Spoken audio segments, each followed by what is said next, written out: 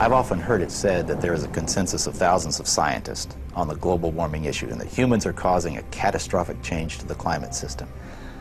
Well, I am one scientist, and there are many that simply think that is not true. Man-made global warming is no ordinary scientific theory. This morning, the Intergovernmental Panel on Climate Change made up of... It is presented in the media as having the stamp of authority of an impressive international organization. From the IPCC, the, the United Nations Intergovernmental Panel on Climate Change, or IPCC. The IPCC, like any UN body, is political. The final conclusions are politically driven. This claim that the IPCC is the world's top 1,500 or 2,500 uh, scientists.